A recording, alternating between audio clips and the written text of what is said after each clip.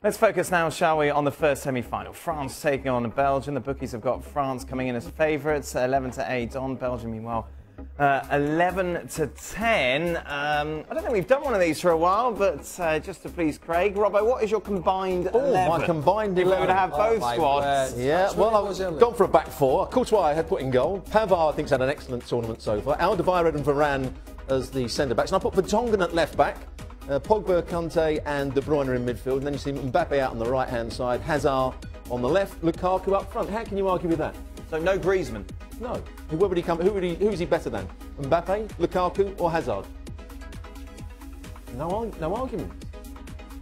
Any good? Can't believe, can't believe he split the centre de- defenders up. You never split defenders up. Varane and Umtiti it had to be.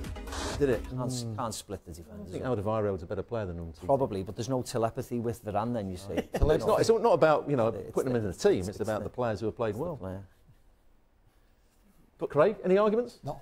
No? No, not on a Sunday. Courtois or Lloris? Yeah, not on a Sunday. Maybe on a Monday, lad, but I think both Sunday. of them have had good tournaments. I think Lloris came up big in, in their quarterfinal, just Yeah. as Courtois did. Courtois So or Who Lloris? would, though? who would you pick, mate? Uh, I think as a former Spurs player, I got to pick Lloris. There you go. So, Oh, so it's ah, his, team, his, team, his team's wrong then. What was Yeah. his Strong. If a goalie, if goalie picked Lloris, that's I the didn't end get of a it. chance Yeah, to both of them had good turns. I don't have a calculator with me. How many from each team were Do you need there? a calculator to count? I was being facetious. Now shut up. Oh, I'm not sure. To be honest, half and half, I think. Six and five. Six and Six five. and five. Six be And and- the manager, I be put half down. and That half. was what we means didn't talk about. The manager, Roberto Martinez, Oh, wow. over Didier Deschamps, because he's had a good tournament, I think.